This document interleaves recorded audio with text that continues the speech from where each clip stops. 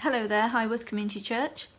In response to Matt's request for a contribution with the title My Challenge to You, I thought I would share something that is actually a current challenge to me. Many of you may already have this one sorted. If so, please do share your experiential wisdom. Firstly, I'd like to read you a short text. It's not from the Bible. It does echo some scriptural references, which I'll mention later.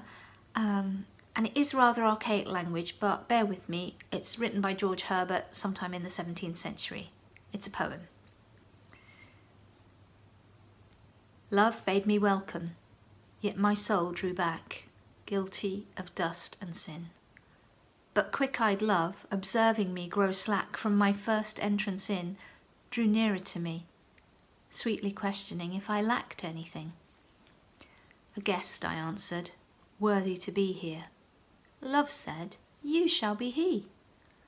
I, the unkind, ungrateful? Oh, my dear, I, I cannot look on thee. Love took my hand, and smiling did reply, Who made the eyes but I? Truth, Lord, but I have marred them. Let my shame go where it doth deserve. Know you not, says love, who bore the blame? My dear, then I will serve. You must sit down, says love, and taste my meat. So I did sit and eat. The opening phrase of this poem came to mind uh, in one of my times with God recently. I didn't remember the rest of the poem. In fact, I wasn't even sure where it was from. Do you ever find that in your dialogues with any given member of the Trinity, it can get either stunningly simple or just a bit convoluted? This was more like the second. I had to Google the phrase, and then I didn't get around to doing that straight away completely forgot about it. Some days later remembered and then the outcome? Well, it was one of those moments where the Holy Spirit sneaks under your defences and leaves you defenceless. I realised that some of my prayer encounters recently have had a similar theme. And as I reflected on this, I realised that this is more of a recurrent challenge than a current one the challenge of love. The poem reminds me of the parable of the wedding feast, uh, which is in Matthew 22 and Luke 14, and of the situation where Jesus decides to wash the disciples' feet. I think that's in John 13. And a couple of questions come to mind when I think about these stories. An invitation from the king? What's my response? An act of service by the king? What's my response?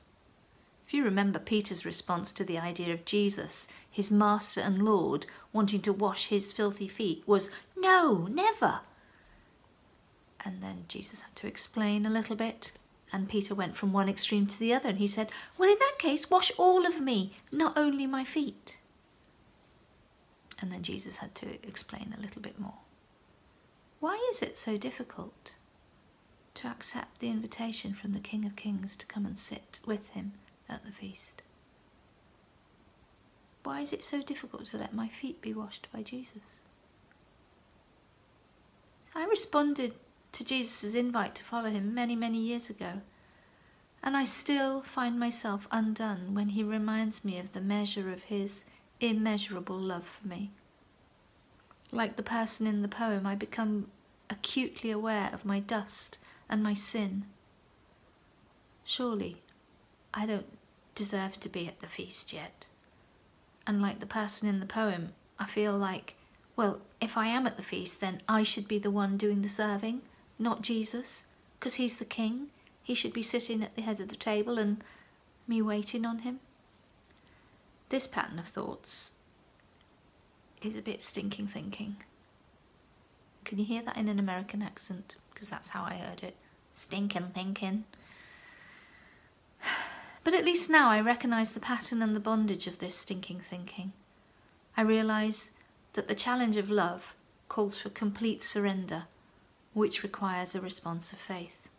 John 6:29 says, "This is the only work that God wants from you. The only work that God wants from you is to believe in the one that He has sent. It's funny, isn't it?